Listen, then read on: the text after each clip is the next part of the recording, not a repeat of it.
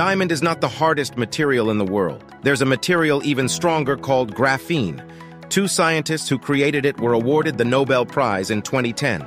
To this day, graphene remains the thinnest and lightest material on Earth. It is much lighter than wood or metal and 300 times stronger than steel. To illustrate its strength, imagine placing a 6.8-ton elephant on top of a pencil and a single-layer graphene sheet the size of a carbon molecule underneath.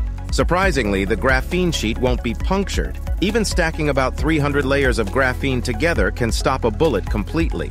300 layers of graphene are incredibly thin. A regular sheet of paper is about 100,000 nanometers thick, while 300 layers of graphene measure only 100 nanometers. Despite being 1,000 times thinner than paper, graphene is remarkably robust and capable of stopping bullets. Therefore, it is said that graphene is the material of the future with numerous practical applications.